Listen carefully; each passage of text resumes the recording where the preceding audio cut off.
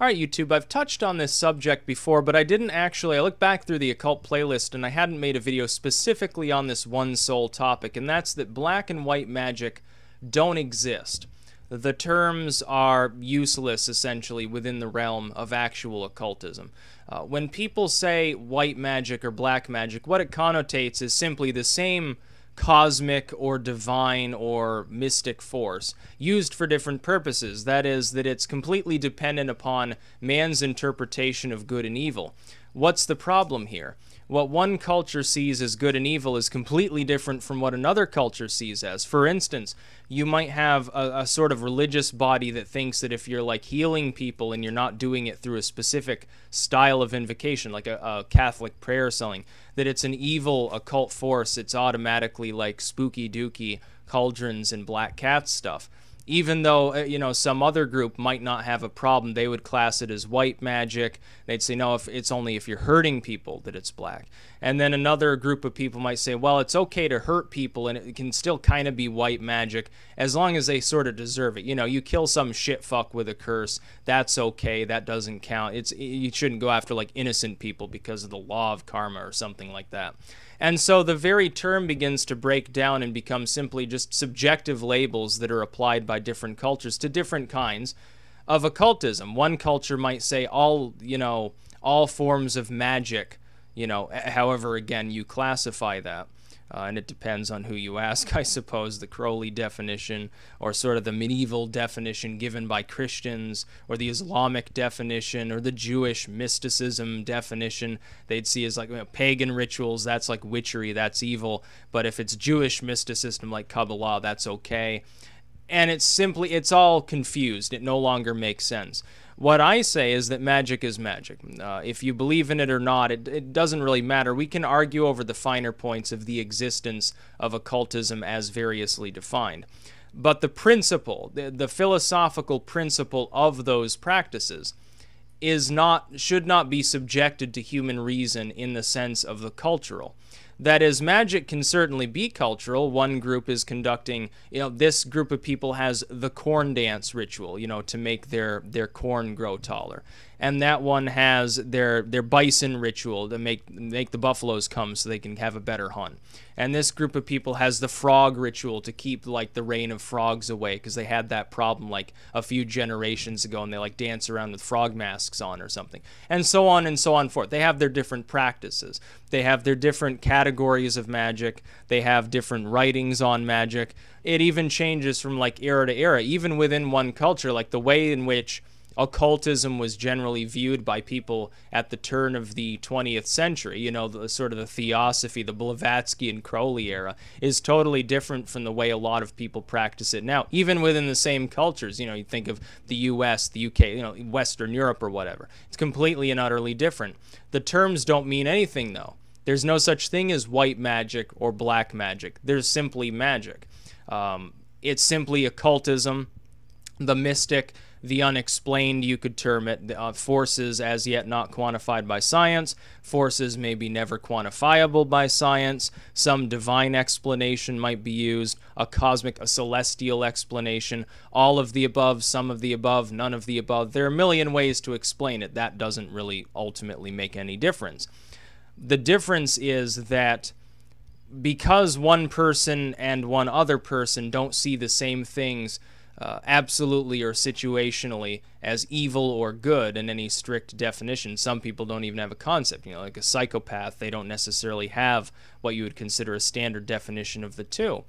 Um, because of that subjectivity, it doesn't make any sense really to label things. If a European or an American labels tries to categorize what magic constitutes, you know, good or white or okay magic, and what's black magic, what's evil, accursed, and forbidden, uh, they're going to come up with a totally different categorization than if I ask somebody from the middle of the Sudan, or if I ask somebody from uh, from Korean culture, or somebody living in, in some remote South Pacific island. They're all going to create a different categorization system, even if this the magic the rituals, the names, the content, the the general concept is exactly the same. They'll categorize them differently.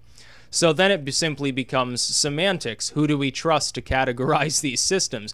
Generally, people have an understanding of such a thing from a European perspective. If, if you're reading something in English, it's a European perspective you're getting, generally speaking if you're like a native African looking up Satanism or something, I've I've had a lot of people, especially from the Ivory Coast, not the country but the region, like Nigeria, Ghana, and so forth, ask me about Satanism, a lot about curses and how to summon Satan and how to sell your soul and stuff like this. It's like there's something deeper ingrained into the culture going on with the Christian devil, I guess. Like maybe it's not seen as quite as negative as in like parts of Europe or the US or whatever. Uh, but their explanation of magic, there, there's obviously a difference in opinion. They're, they're taking Satan literally, number one.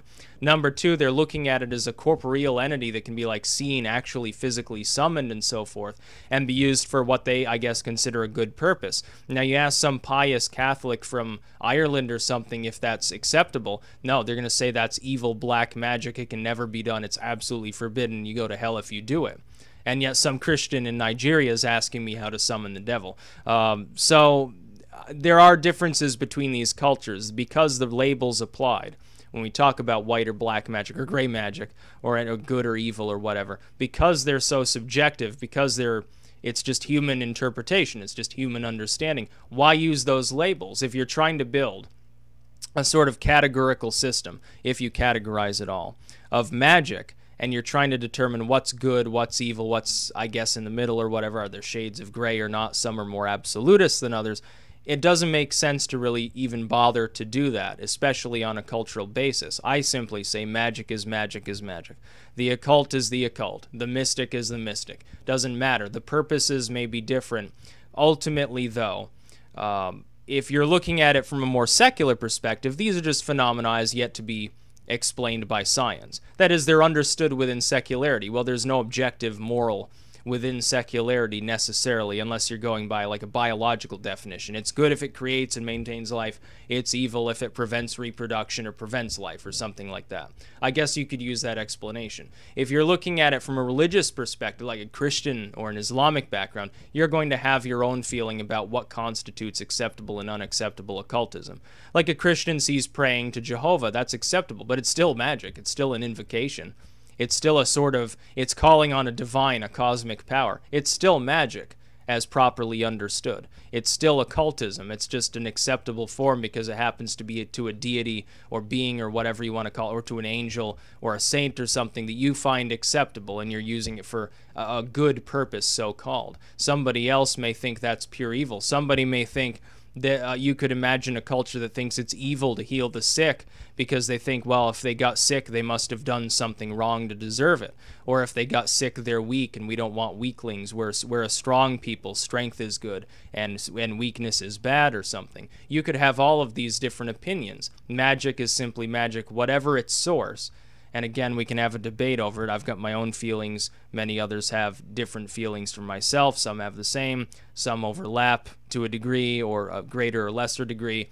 But it's still just occultism, using the term white magic, black magic, good and evil to denote something that you don't even necessarily admittedly fully understand, I think is a little bit of a mistake. It really becomes confusing. It makes it harder for you to perform magic if that's the sort of thing that you're into. If you're into occult practice and you're constantly second guessing and trying to categorize things according to some subjective system, especially if you've been an Abrahamist and you're still dragging that into it, saying, well, I do no harm and so forth uh, then it's going to be very difficult for you to appreciate the finer aspects of a lot of types of occultism, especially from areas that weren't really touched by Christianity, places where it never became prevalent or never arrived in the fucking first place. You know, you think of some remote half contacted tribe that rejected the first missionaries they found and beat their skulls flat with rock hammers.